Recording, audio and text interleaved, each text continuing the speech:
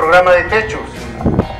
Yo le agradezco mucho aquí a nuestra delegada Hortensia y a todos y cada uno de ustedes, primero por la confianza que nos dieron para entregarles resultados, los resultados que ustedes quieren.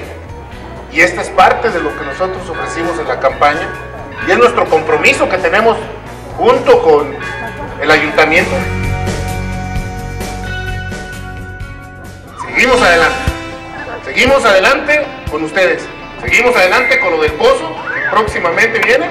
Seguimos adelante con la pavimentación, con los techos, con las casas, con los cuartos. Y vámonos duro. Y arriba, pozos.